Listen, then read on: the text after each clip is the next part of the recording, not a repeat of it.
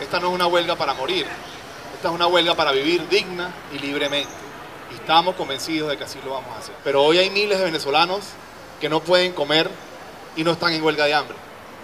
Esta lucha también es por ello.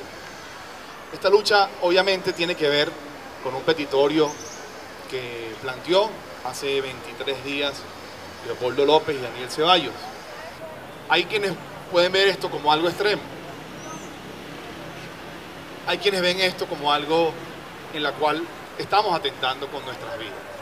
Es una forma de verlo. Pero yo también creo que hay cosas que podemos hoy, productos que podemos hoy capitalizar. Daniel Ceballos después de 20 días levantó su huelga de hambre dignamente y lo hizo además logrando algunos objetivos. Lo trasladaron del campo de concentración donde lo tenían preso. Pudo ver a sus familiares. El concejal aprovechó para invitar a todos los ciudadanos a participar en la marcha este sábado 20 de julio, que tendrá como punto final la Plaza José Martí en Chacaito.